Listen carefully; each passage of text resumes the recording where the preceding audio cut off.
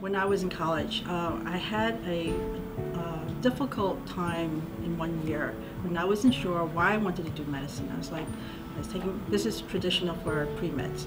Organic chemistry, why am I doing this? You know, I don't really want to do this. Do I really want to be a doctor? And so at that time, I went to my career services at my school, and they they, they told me about you know these programs, and Project Ahead stuck out. Um, I had no idea what medicine was like at the time when I uh, joined the program. I learned a lot about uh, community health. I learned a lot about health disparities.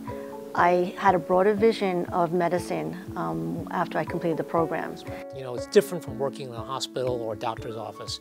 It's really about um, uh, finding ways to partner with the community and think about healthcare in its broadest sense, you know, not only the actual delivery of healthcare, but the social determinants of healthcare. I think the project is not just getting people into the healthcare field, but also educate them about the community, the, the population that, that we hope to bring healthcare services to. Another thing that Project Ahead does, it, it allows you to think big. So because you get sort of these shadowing experiences. You get to make your own project. You get to decide on your own budget. These are skills that you later need for any project that you're going into.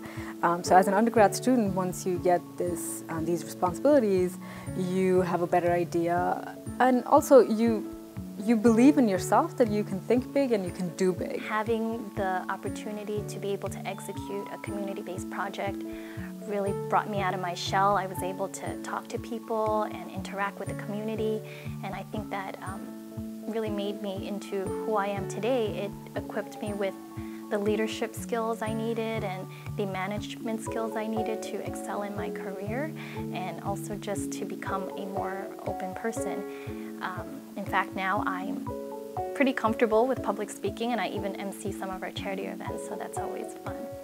One of the most important things at Project Ahead was meeting other Asian Americans in positions of influence in the area of healthcare.